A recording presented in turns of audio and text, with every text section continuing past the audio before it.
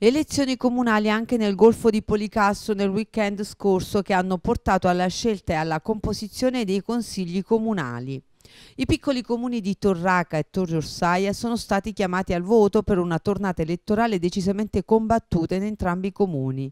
Le percentuali che hanno portato poi alle elezioni a Torre Orsaia di Pietrovicino e a Torraca di Francesco Bianco sono state decisamente risicate, frutto anche di campagne elettorali molto combattute.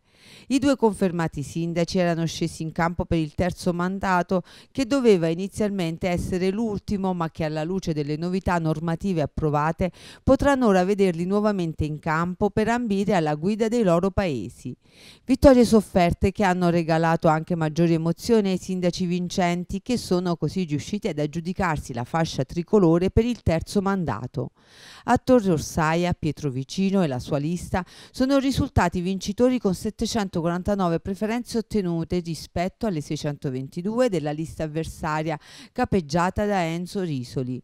Un risultato ed una vittoria che ha consentito anche di alleggerire una tensione durata settimane come emerso dalle parole del primo cittadino.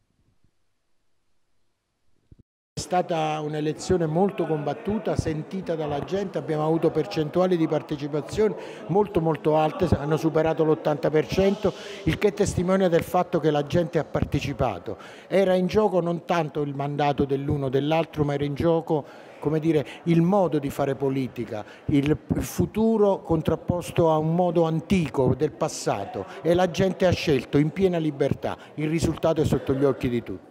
Daremo continuità all'azione che abbiamo già avviato, attueremo tutta una serie di iniziative che abbiamo già fatto dalla cooperativa di comunità, le iniziative previste dal piano urbanistico comunale che abbiamo di recente approvato, tutta una serie di valorizzazioni e lavoreremo molto sul sociale, come giusto che sia vista la difficoltà dei tempi questa volta spero, contrariamente a quanto è successo nelle due precedenti occasioni, che coloro che non hanno, sono stati arrisi dal successo contribuiscono alla vita della comunità e non si ritirino come è capitato nelle volte precedenti.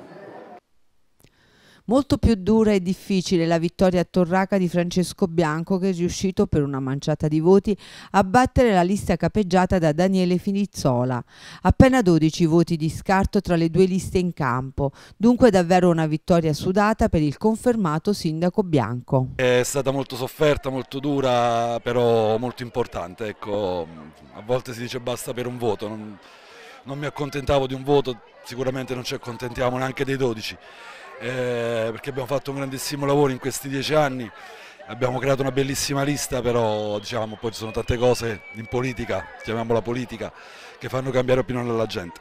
Però siamo soddisfatti, sono soddisfatto per me, sono soddisfatto per loro, eh, li devo ringraziare uno ad uno perché non lo faccio per loro e lo faccio con loro, ecco, è soltanto, soltanto, questo, sono gratificato perché loro sono felici, hanno sofferto insieme a noi e, e questa è la, la, meritata ricompensa.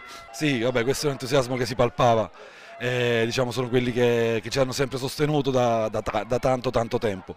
E, niente, sono emozionatissimo, sono stanco, però stanco ma felice, quello è l'importante, grazie.